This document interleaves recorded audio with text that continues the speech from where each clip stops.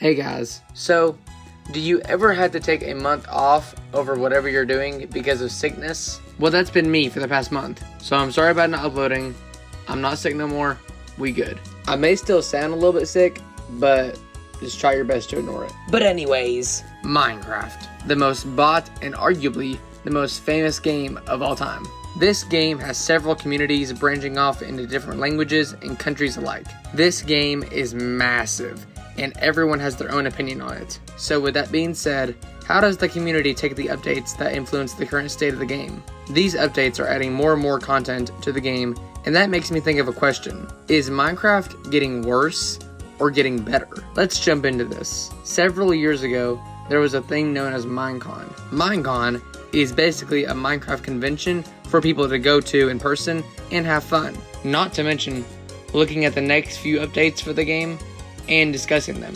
But in 2017, Minecon would be different. This would be the Minecon to introduce the mob vote. The people would get to choose what mob they wanted to see in the game. During this mob vote, the Phantom won. After this was added in the aquatic update, most people did not really like this addition. It was a flying creature that would show up after three days of not sleeping. Along with it attacking you every few seconds, it just made it annoying. In September 2019, in the broadcast known as Minecraft Earth, players would vote for a biome. The Taiga biome won with introducing new features such as berries and campfires. This vote wasn't really so hostile. This is because Mojang said that instead of getting rid of plants for the other biomes, they would rather just come in a future update. This was so good that they did it again in the next Minecon. The mountain biome won, adding powdered snow and goats. The swamp also got second place and that is where the mangrove swamp was added. But soon after,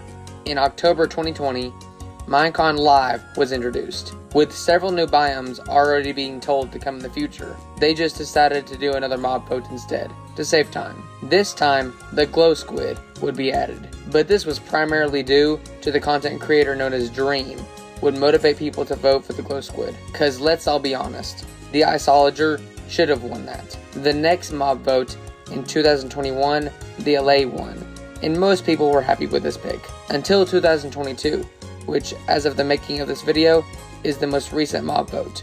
The Sniffer would go home winning this, and it caused a lot of controversy within the community. Many people saying that the mob vote was a waste of time and the game would be better without it. This was also a big time in which Mojang was trying to add lore to the game, but many people thought if they're going to try so hard just to make another mob for lore perspective, then don't have a vote on it. Just make the mob. And personally, I think that's why a lot of people say that Minecraft is getting worse. Mojang just seems way too focused on topics such as lore. So yeah, personally, I think the updates are fine, but to each their own. But Minecraft isn't the only game or thing Mojang has been developing. There are four big other games. Minecraft Story Mode, Minecraft Earth, Minecraft Dungeons, and Minecraft Legends. And I would be lying to you if I said all these games are still mainly played today. At least not to the extent that Minecraft is being played at. Minecraft Story Mode and Minecraft Earth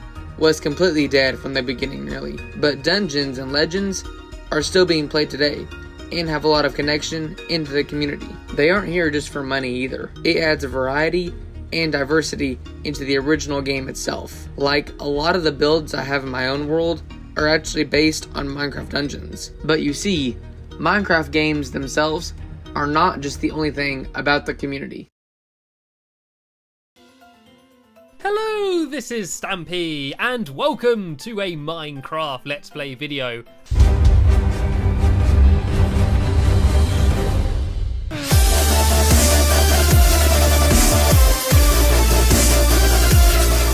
What's going on, dudes? It's Pat, and welcome back to the challenge games. Hey guys! So it's Hello, everybody, and welcome to a Minecraft Xbox 360 Hunger Games video. Whee! Early Minecraft was full of creators, especially on YouTube, that accounted for millions of people's childhood. These times were full of mod pack show offs, let's plays, Hunger Games, and little gains and challenges. But then we come into the dip in Minecraft popularity. As people grew up and got older, they lost interest in the game and videos like it. And it was like that for a while actually, until the combination of COVID, a surge in gaming, and the power of a certain YouTuber by the name of Dream. Dream, who had been on a break from making Minecraft content, would start producing again, and he would put a twist on it, like trying to beat the game with a mod pack he coded in, or arguably his most famous series, Minecraft Manhunt, where he would try to beat the game with a couple of his friends trying to kill him. These videos would be intense and heart racing. At the time, Minecraft started to come back a little bit, with servers like SMP Earth and Dream SMP. These two SMPs would gain a lot of people starting to watch Minecraft content again, especially on Twitch and YouTube. But after the pandemic ended, the SMPs would die out and the creators would make other content. In today's Minecraft content, you will usually find videos like 100 day challenges, lore based videos, and civilization videos. The 100 day videos being introduced to survive 100 days on a Minecraft challenge or twist to the game, or no twist at all. Lore based videos being what a lot of YouTubers make in order to explain the backstory and convoluted ideas that Mojang has implemented into the base game. And the civilization videos being made with hundreds or thousands of players to see them use teamwork and a twist or spin off to the base Minecraft game like a huge map. The amount of Minecraft content is immense to say the least, with including roleplay, PvP, challenges, commentary, and so, so much more. And if that commentary part sounds cool, then you really should subscribe to me, because that's like 90% of my channel. But to go back to the original question, is Minecraft getting worse? No. At least, I don't think so. There's been a lot of variety and updates that add a lot to this game. It isn't that it's worse now or not simplistic, it's just that there's more to do. When I asked my friends' opinions on this, I was met with both answers. Some thought Minecraft was dying, while others thought Minecraft was thriving. This game isn't as simple as what we thought it was when we first started playing it. It has multiple world communities and stretches across many different types of people. And at the end of the day, isn't that what makes a game a good game? To engage people and make memories? Whether you like to watch action packed challenges, roleplay servers, or even commentary videos like this one. Big updates, small updates, content creators old and new, the thought of so many opinions is breathtaking, and it is amazing to say the least to see what the impact of this generation has had on people. I played this game for the first time in 2013. I got it on my dad's phone and couldn't stop playing it. I showed my parents all of the creations I made and big buildings. I remember being so scared of nighttime and making big roller coasters. I remember all of those YouTubers and trying to relive and create what they taught me and showed me in their videos. Soon after that, I got an Xbox 360 and played so many hours with my friends that I don't even speak to anymore. People that I've met and gone throughout life with, and now so many of them are gone. But this game still remains. I continued to play this game for years to come without stopping when everyone else did. But when I think back to the age of that kid who was scared to play survival and being afraid of nighttime, I didn't just realize how far this game had come but how far I had come, the accomplishments I have done, and nearly everything that has happened in my life and throughout it. I played this game when I was just 9 years old. I was literally in 3rd grade.